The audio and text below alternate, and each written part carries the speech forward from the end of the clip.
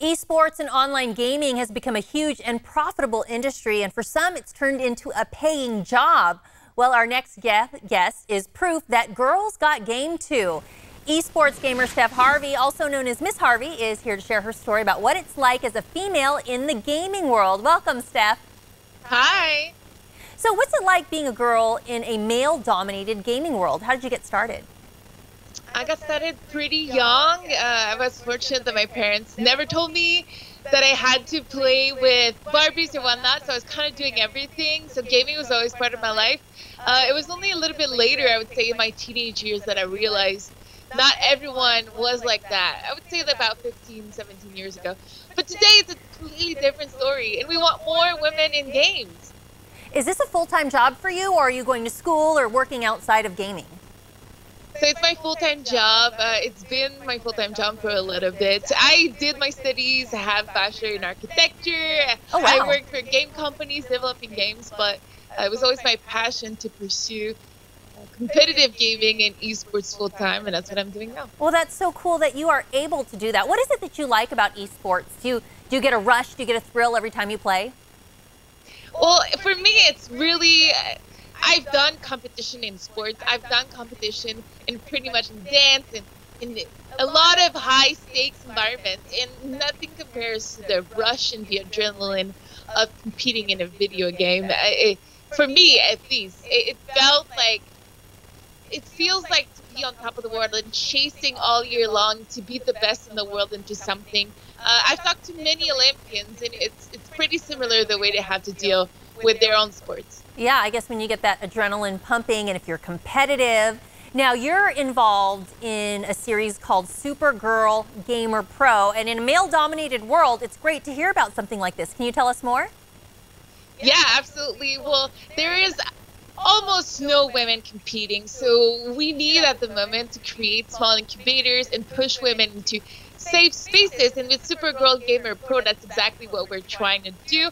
Uh, during the next, uh, now we're already at week number two. So during the next seven weeks, it's a total of nine weeks every weekend.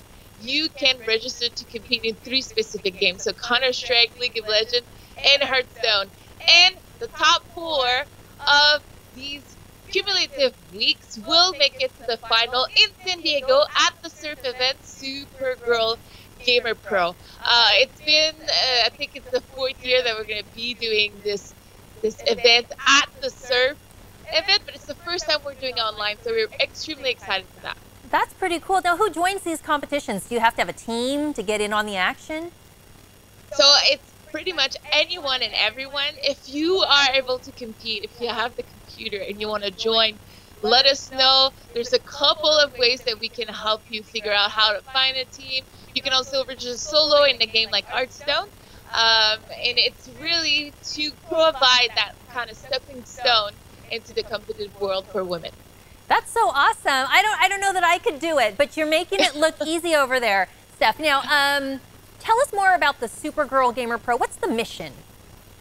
Yeah, the mission is, like I mentioned a little bit earlier, but uh, it's important to focus on this. It's to create a safe space and also little, I want to say, little steps at the bottom of the mountain because there's absolutely, I want to say, very little game female gamers and women at the top competing, but a lot of it is lack of numbers too. Like women really don't compete into video games. There's a lot of women playing, but that extra step that they need to jump into competition seems like pretty difficult at the moment. So um, there's many ways that we can help that and push women to compete. But one of them I like to say is to create these kind of incubators where we celebrate women in gaming and where we push them uh, to play against each other so that they can figure out, yeah, it's kind of fun you know? yeah, absolutely. You get to do it on any stage after that. Yeah, give them the opportunity. Provide that opportunity. What about advice then? Let's get some more young girls and women who want to get into esports and gaming. What, what should they do? Yeah, absolutely. Uh, I think that having a good support system, whether it's your family, your friends, uh, your parents, and always focus on your own tiny goal. It's easy to compare yourself to the best and be like, I'm not the best, but I, it's actually not the point, right? The point is your journey, what you need to get there, and you're going to learn so much along the way. A bunch of skills that you're going to be able to use in your real life as well. Sounds good. Miss Harvey, thanks for joining us today. And you can find out more information about Girl Gamer Pro at uh, supergirlgamerpro.com.